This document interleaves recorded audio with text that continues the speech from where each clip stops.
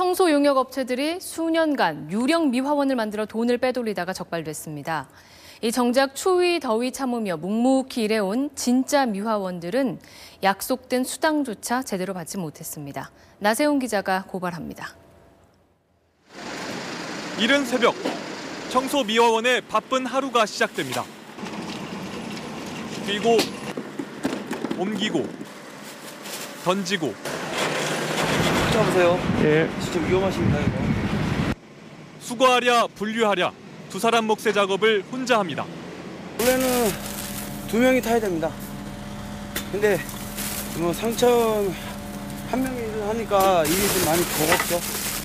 이 청소 용역 업체의 임금 대장. 때로는 미화원으로, 때로는 사무직으로 매달 2, 300만 원씩 월급과 상여금이 꼬박꼬박 지급된 사람들이 있습니다. 그런데 이 사람들을 봤다는 사람은 없습니다. 한 번도 보신 적 없나요? 어, 없습니다. 제가 지금 내년이 5년 차인데 한 번도 본 적 없습니다. 이른바 유령 미화원. 지분을 좀 어느 정도 가지고 있고 그래서 배제를 할 수 없었기 때문에 일을 안 하고 어떻게 돈 가져간 거예요? 저는 사장님하고 이제 친분 관계가 있으니까 이런 사업 또 다른 청소업체. 격리 직원의 조카, 남동생까지 동원됐습니다. 언제든지 전화하면은 와가지고 대조를 할 수 있다. 부르면 올 수 있다.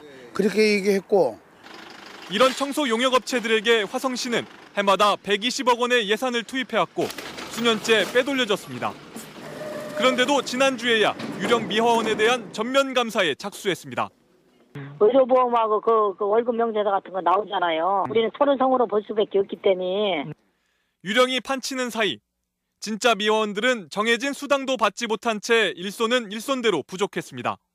이렇게 힘들게 하고 진행하고 있는데 월급도 안 주니까는 저희로서는 그냥 환장하는 거죠. 진짜. 서울 용산구 이곳에선 용역업체가 청소 미화원들의 특근 수당까지 빼돌렸습니다. 구청이 용역업체의 서류만 믿다 벌어진 일입니다. 그 결과 보고 내용상에는 그 미화원들 개개인의 인건비가 어떻게 지급됐다는 구체적인 내용은 없습니다. 그나마 있는 일자리라도 잃을까 묵묵히 참고 일하는 청소 미화원들. 용역업체에 만연된 비리, 지자체의 허술한 관리가 그들을 더 힘들게 하고 있습니다.